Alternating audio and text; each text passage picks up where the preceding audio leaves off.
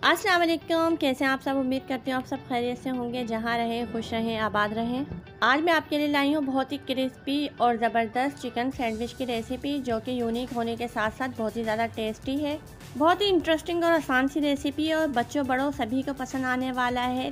Video अच्छी लगे तो इसे लाइक और शेयर ज़रूर कीजिएगा तो। तो चलें, देखते हैं इसे कैसे बनाना है। सबसे पहले मैंने ली थी चिकन। चिकन फिले ले ली थी चार से पाँच, देखें। ये चिकन ब्रेस्ट फिले थे, आप चाहें तो थाई के भी ले सकते हैं। एक चौथाई कप मैंने डाला था इसमें दही। आपके पास अगर बटर मिल्क हो तो आप वो भी एक चौथाई कप इसके अंदर डाल सकते हैं।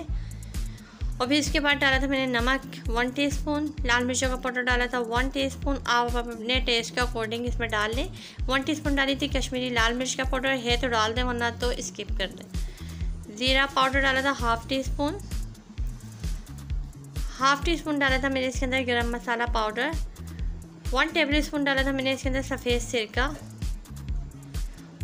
वन टेबल स्पून डाला था मैंने अदरक लहसन का पेस्ट और इन तमाम चीज़ों को करेंगे अच्छे से मिक्स ताकि मसाला तमाम फिलों के ऊपर अच्छे से लग जाए।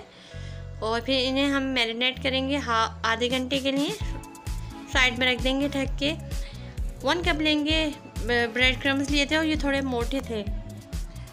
वन कप लिया था मैंने मैदा और फोर टेबल स्पून लिया था मैंने कॉर्नफ्लोर वन टीस्पून डाला था मैंने इसके अंदर नमक। नमक अपने टेस्ट के अकॉर्डिंग एडजस्ट कर लीजिएगा। वन टीस्पून डाले थे मैंने लाल मिर्चों का पाउडर मिर्ची भी आप अपने टेस्ट के अकॉर्डिंग डाल लीजिएगा। वन टीस्पून डाला था पेपरी का पाउडर ऑप्शनल है तो डालने, नहीं है तो स्किप कर दें, इसके बगैर भी रेसिपी बन जाएगी।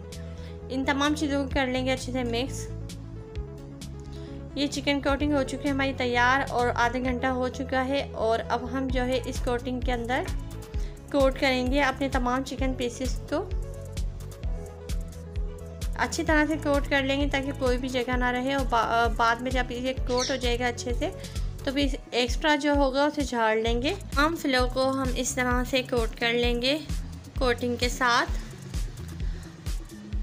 बहुत मज़ेदार बन के तैयार होते हैं। एक बार आप इसे ज़रूर ट्राई कीजिएगा। फिर हम ऑयल को गर्म कर लेंगे।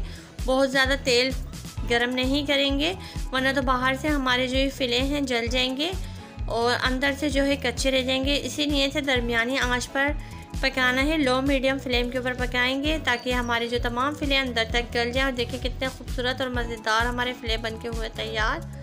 और बहुत ही क्रिस्पी बने थे, इसे ज़रूर ट्राई कीजिएगा, बहुत मज़ेदार लगता है। फिर मैंने ले ली थी पीटा ब्रेड ये रेडीमेड पीटा ब्रेड थी और शवरमा में मैं आपको पीटा ब्रेड बनाने की रेसिपी सिखा चुकी हूँ। आप चाहें तो वो रेसिपी देख लें और घर में भी ये बहुत आसानी से बन जाती है, वरना तो आप रेडीमेड डाउन वगैरह की ख़रीद लें। तो इसे दोनों तरफ़ से हम इस तरह से ऑयल लगा के सेंक लेंगे ताकि कच्ची ना रहे। अब हम इन्हें कर लेते हैं सैंडविच बना लेते हैं। सबसे पहले मैं इस पर मायोनीज़ लगाऊँगी। और मायोनीज़ भी आप जो है, अपने टेस्ट के हिसाब से एडजस्ट कर लें। अगर आप ज़्यादा खाते हैं तो ज़्यादा लगाएँ, कम खाते हैं तो कम लगा लें।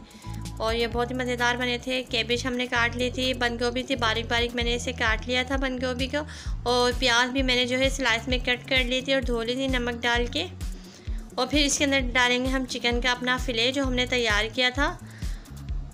और इसके बाद जो मैंने कुछ जो है कम्बर रखे थे इसके अंदर खीरे और ये अद, आ, हरी मिर्चों और हरे धनिए की पुदीने की चटनी बनाई थी और ये बहुत ही ज़्यादा मज़ेदार लगती दही के साथ। इसे ज़रूर डालिएगा लेकिन थोड़ी थिक हो फिर इस पर केचप डालेंगे। ये चीज़ आप अपने टेस्ट के अकॉर्डिंग जो है एडजस्ट कर लीजिएगा। जितना आप खाते हो मिर्चें नमक और ये जो केचप माइनीस वगैरह है और ये बहुत ही ज़्यादा टेस्टी बना था। आप इसे ज़रूर ट्राई कीजिएगा। चैनल पर नए हैं तो प्लीज़ चैनल को सब्सक्राइब किए बगैर नहीं जाइएगा वीडियो अच्छी लगी तो लाइक करें। अपना और अपने प्यारों का रखें ख्याल। मुझे नेक्स्ट वीडियो तक के लिए दे इजाज़त। अल्लाह हाफिज़।